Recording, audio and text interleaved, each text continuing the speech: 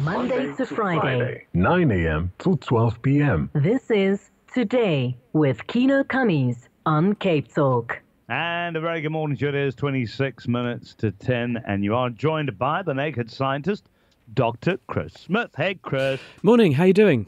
Always good to have you on. So I'm doing really good, thank you. How was your How was your week? We always Yeah, good a stuff. Bit of a check in with you. It- It's What been a, gonna very, interesting week. Um, I mean, since I last spoke to you, I went and got a COVID vaccine, which is interesting. Uh, didn't have any side effects from that, and it was very well organised. I'm I'm just waiting for No my extra arm to grow at this stage. But um, sorry, say again. That's that's because what? I said, I said no twitches, and uh, I was No, not ask yet. No, no. Um, it's while I was on duty at the hospital. Uh, they're they're doing all the all the doctors, nurses, and other healthcare people at the top of the list because obviously you you've got to keep those people going to keep the health service going. So I was able to get a dose of Pfizer's vaccine, and uh, no no no extra arms and legs yet. Uh, all going well as far as I can tell. Good, um, although good, you know. I have I have had Bill Gates already tuning in to the microchips that have been injected, so um, I'm sure he now knows all my bank account details. And, uh, no, uh, no, it's, And- and- uh, it's hilarious. As a matter of fact, our chief, our chief justice also spoke about you and said we must be very careful not to find any triple six in those vaccines. Yeah, yeah, So, correct, correct, um, yeah. you know, you know. So, so just be careful of the triple six there, Chris. Well, there was a big uh, announcement yesterday, in, interestingly, because I, I was actually doing a radio program last night for one of our network radios. We do a, a common sense coronavirus call in for one of the BBC stations once a week. And it was around that time that the company Novavax from the US announced Yes. their phase three results from their, stu- their study in the UK because they've looked at 15,000 people receiving their Novavax vaccine. And this one is a vaccine which is made in insect cells, amazingly. And the way in which you do this is you take the gene for the outer coat of the spike of the coronavirus, put that into a virus that infects insect cells, and then use that to infect moth cells and they grow these in very large amounts in the culture dish and these cells Yep. then churn out enormous amounts of this spike protein from the coronavirus which can be purified and you then inject it and it teaches the immune system how to recognize the uh, the the outer part of the virus that the virus uses to infect us and it showed nearly 90% effectiveness in UK settings including against the UK new variant. But then reading further down the page, it said it also showed some promise in the South Africa variant, because of course there's also a study that Novavax are doing in South Africa. They've got a phase two trial going on in, in South Africa, much smaller numbers, 4,000 people. But the worrying feature that they highlight is that it's only 49% effective across the board in South Africa. And if you drill into the numbers, mm. taking the most optimistic view, it's about 60% effective.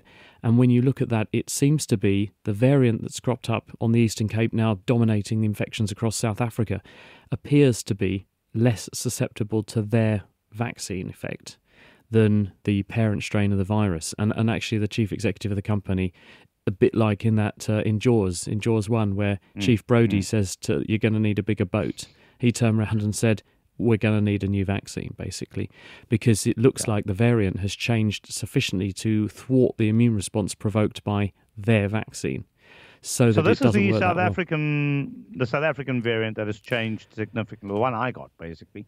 Quite, quite African possibly, variant. yeah. It it looks Yeah. a bit different. The shape of the virus um, spikes is sufficiently different that the response produced by the Novavax vaccine, at least, Yeah.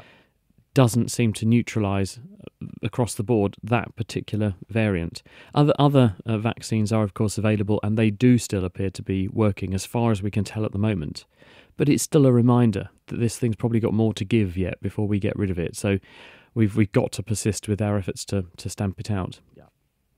Absolutely. You're listening to the naked scientist, Dr. Chris Smith. If you've got any questions about everyday life, it could be something that you've just noticed.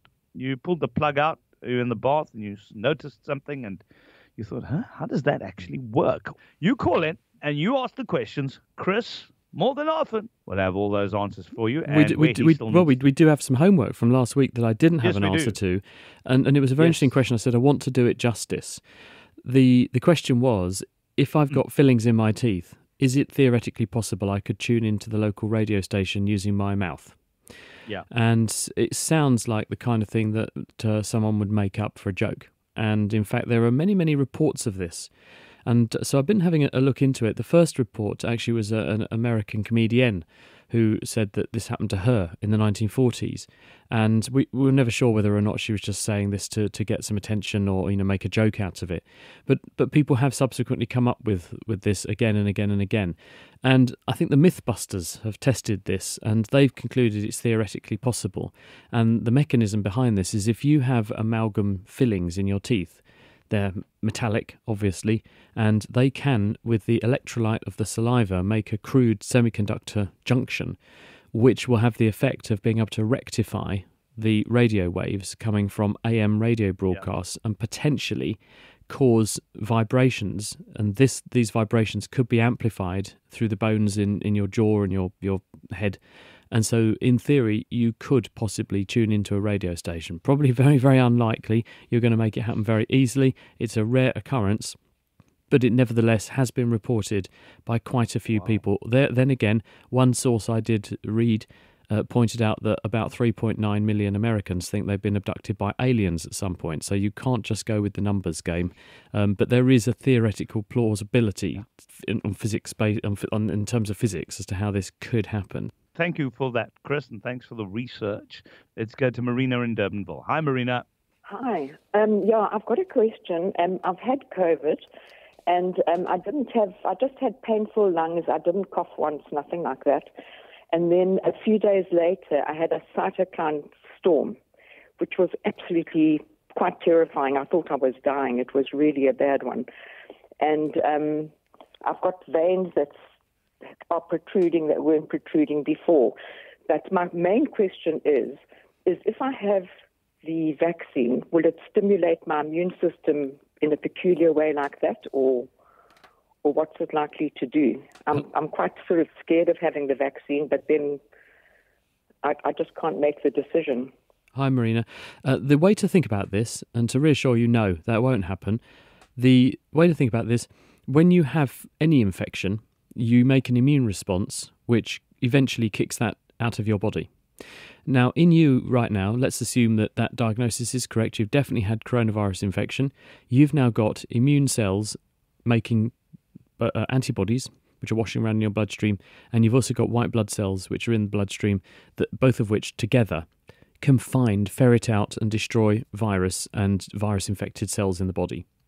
Now, if I come along with a vaccine, the vaccine educates the immune system about one part, the spike on the outer coat of the virus. You've already got an immune response against that, and so all this will do is further consolidate or stimulate and strengthen the immune response you have made. And if you think about it, the effect of doing that is almost no different than if you go walking down the street and run into somebody tomorrow who's got coronavirus and they give the virus to you. Because if you are re-exposed to the virus, it's doing exactly the same thing as if you are exposed to the vaccine. And you probably, given the prevalence in South Africa at the moment of the infection, you probably have run into quite a few people since you recovered who've got it. And you haven't had that happen. So the likelihood of it happening from mm. a vaccine is very remote indeed. So you, mm. you probably should get the vaccine because if the original diagnosis was wrong, you'll get protected. If the information we now have that people's immunity does tend to dwindle with time, then you should probably get the vaccine. And that way, if you also didn't make a good enough immune response to the original infection, which some people don't, and that's dwindled already, you'll get protected. So either way, I'd, I'd say the yeah. best thing to do is to go and get the vaccine if you're offered it. I totally, totally, totally, totally agree with Chris. My mother is 75. She can't wait to get the vaccine. Yeah. I, am getting the vaccine too. And you know, if I grow another leg, uh, yeah, I'm definitely going to get the vaccine, mm. um, without a doubt. I have no, you know, if I grow another leg, that's fine. I can run faster. But uh, no, seriously, Marina, I think I think there's a lot of scaremongering going on around mm. the vaccine, and this is why I like mm. having Chris, and this is why we, we have really sane medical people on the show with us to to, to mm. put things into into perspective. I can promise you, uh, you know, and, and we hear about deaths, right? And, and and it happens. But Chris said this the last time. Out of millions of people who've already received it, um, mm. you know, in the UK, for example, yeah, you, you have to take things uh, within context. Yeah, But you know, the funny thing is, or funny peculiar, Hmm. is that about two weeks afterwards, I went and had an antibody test, Yeah. and I didn't have a single antibody. What? Yeah. Okay.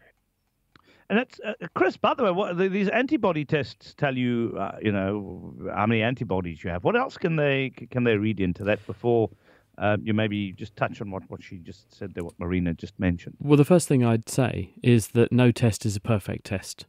And there are tests that do a good job. There are also tests that miss things. And we know Yeah. this happens. There are grey areas in tests, and it's it- it's all too common, unfortunately, that some tests miss stuff. And uh, especially with new things like this coronavirus, we haven't had decades of research to, to optimize and develop really robust, really, really reliable tests, which do make sure they don't miss cases. So it's possible that either, number one, you didn't make any antibodies. Unlikely if you've made an immune response and recovered and you really did have the infection.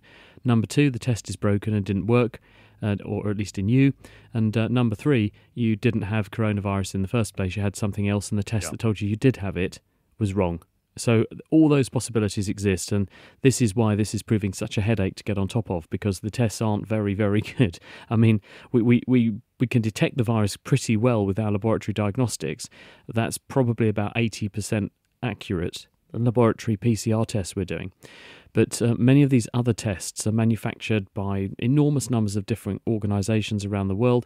They miss cases. I mean, the lateral flow tests we're using to look for people who are actively infected right now, they, they miss about half of the cases of infection.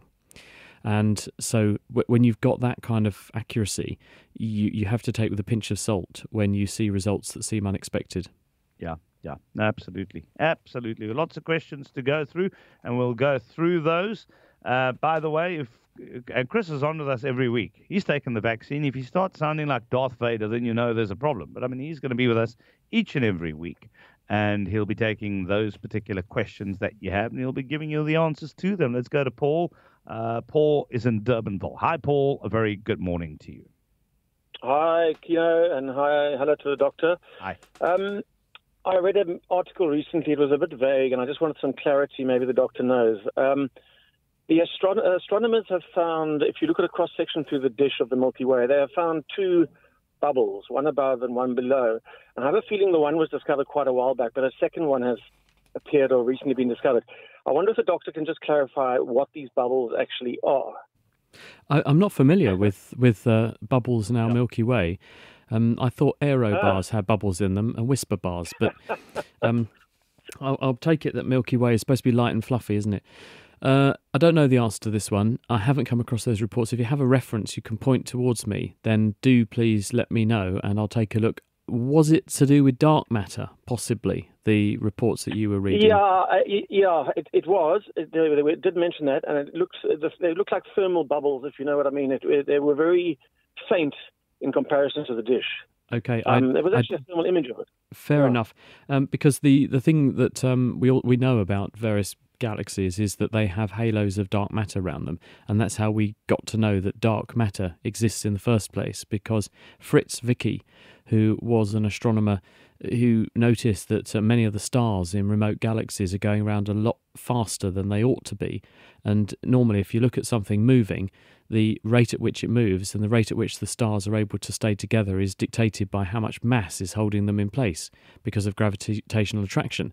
And many of these things are moving so fast that they should, if you can imagine a, a person sitting on a roundabout that suddenly speeds up, they'd all be flung off.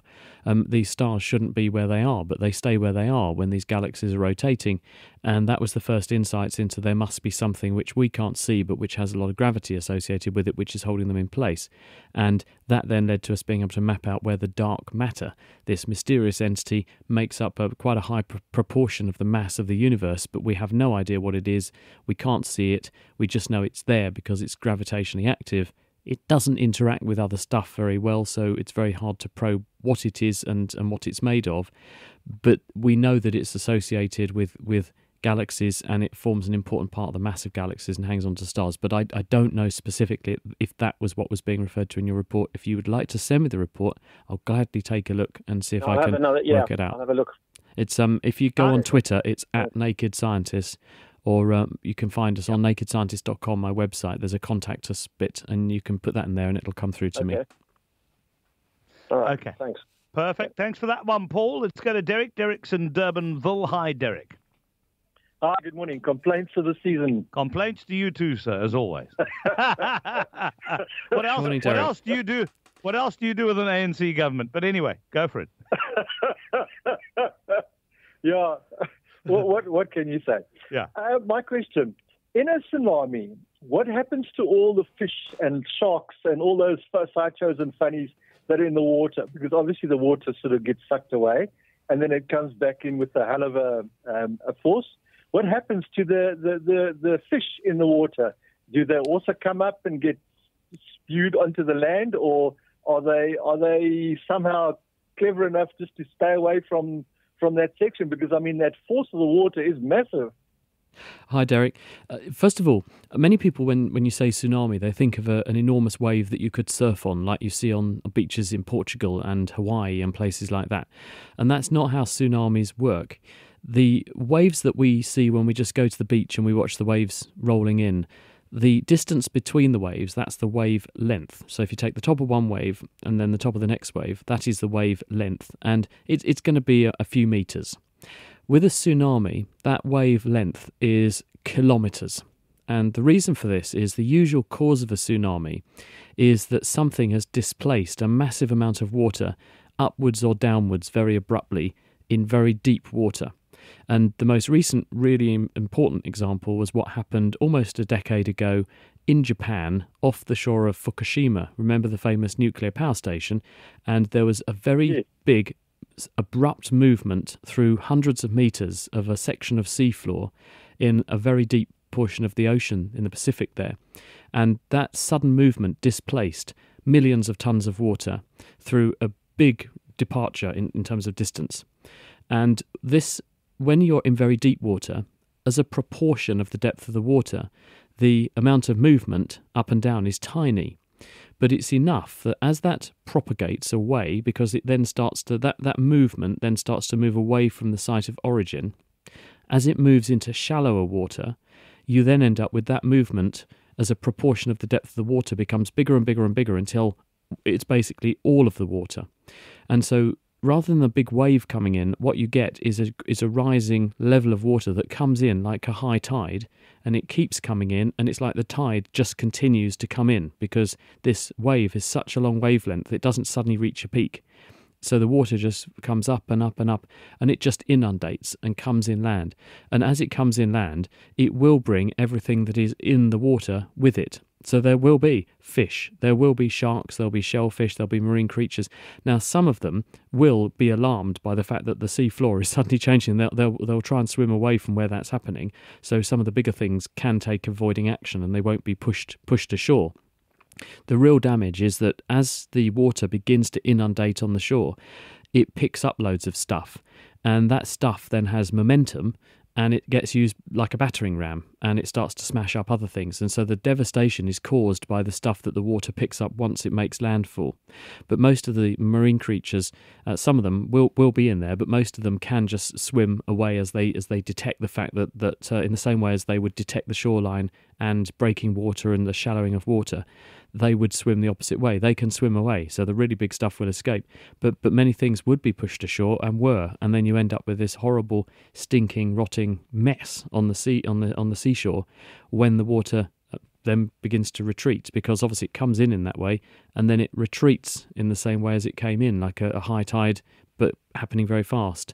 And and obviously it leaves a lot of flooding in its wake because it's pushed enormous amounts of nasty salty water load, laden with all this other stuff inshore, and that has to then drain out again. But it but it will drain out, and it then deposits all this stuff behind, and often it's hidden and covered up by all of the other debris that's that's there. But it, it will be there. There will be there will be unfortunately lots of dead sea creatures. The sharks won't be there. Uh, there, there, like a there are going to be some, right? But but sharks, if you think about it, sharks can detect. They're very very good at detecting where the shoreline is, where the breakers are, how deep the water is, and sometimes make a conscious choice to go into that very shallow environment in order to hunt, for example. But most most animals know that they're in trouble if if they get into very shallow water. They can detect it and they can actually swim out fast enough to avoid it. It's not like they're swimming into a massive current that they can't avoid.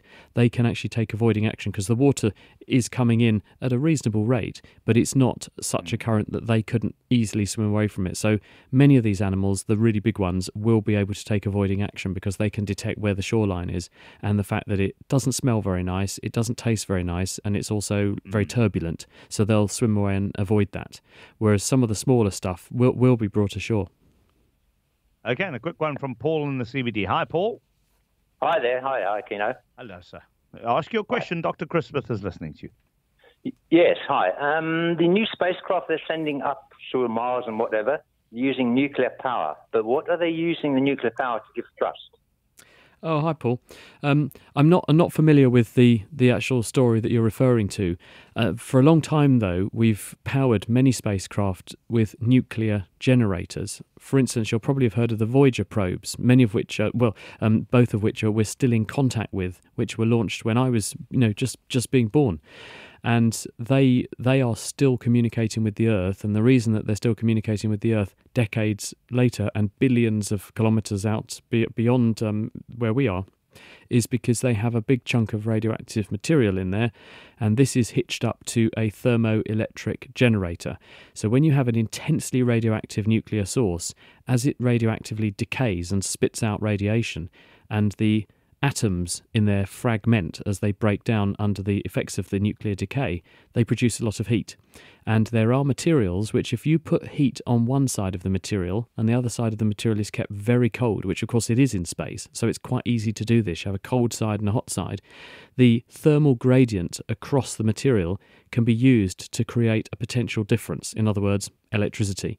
And that's how you use these things to generate electrical uh, current, which can then be used to power your devices. And because many of these intensely radioactive sources, polonium, plutonium, for example, they stay radioactive for a really long time with a high decay rate, you, you can have a very long term, su- sustainable, reliable power supply. And that, that's how they do it. There are also some uh, ion drive engines now which are using. Um, radioactive decay to or of cer- or, or the decay of certain substances to spit out atoms which you can then or heavy atoms which you can then accelerate with an electric field and if you accelerate something in one direction you get a push in the opposite direction and those those engines are, are also um, being used in certain contexts i'm not sure which one applies to the story you've heard but if you again have a reference uh, send it to me and i'll gladly take a look for you Chris, so that's where we're going to leave it. So good luck with that vaccine. I I'll let don't you know how which it one of you we yeah, I don't know which one of you you're going to which one of you we're going to talk to next week, but either one. way, I'm looking forward to it. take care kieno have a good weekend Cheers. You too, man. Dr. Chris Smith, the Naked Scientist.